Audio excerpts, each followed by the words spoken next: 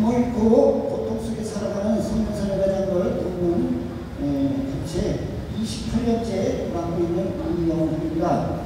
에, 눈물 속에 살아가는 아이를 에, 돕고자 에, 달려나가서 28년째 하고 있는데 한국군의 에, 인자 의원은 30년 전에 에, 만나가지고 왔고 이 누님이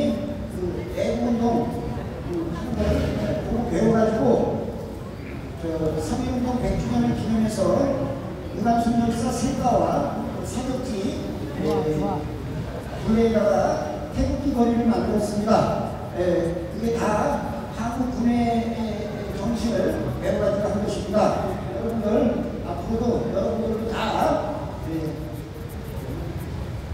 예, 애국운동 하는데 앞장서 주신 바라겠습니다.